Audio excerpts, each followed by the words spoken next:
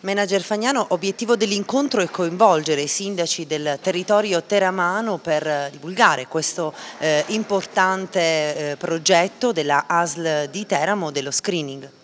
Sì, ancora più operativamente questa attività di screening è anche fortemente condizionata, abbiamo registrato, dal fatto che le anagrafiche regionali sono molto vecchie, quindi è accaduto in passato che abbiamo convocato per gli screening persone che sono decedute, accade ancora oggi che le lettere ci tornano indietro, le lettere di convocazione, perché gli indirizzi non sono più corrispondenti alla realtà. E allora dobbiamo, rispetto a questa problematica importante di prevenzione, lo screening salva le vite, cercare di coinvolgere tutto il territorio. Come?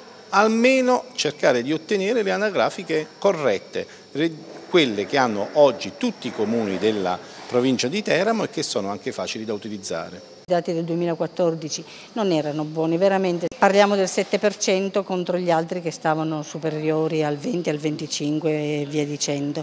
I dati del 2015, il primo semestre, ci vede già cresciuti, soprattutto per la mammella, ma per le, forse per i tumori del collo dell'utero non avevamo percentuali tanto basse perché perché si è partiti da tanti anni, quindi la donna è stata sensibilizzata in questo. Certo è cambiata la patologia, nel senso che non cerchiamo più il carcinoma della cervice uterina, ma cerchiamo l'infezione da HPV, da papillomavirus e quindi trovandola già in età eh, adolescenziale abbiamo un dovere morale maggiore nei confronti delle ragazze che, eh, che cominciano ad essere esposte a questa possibilità.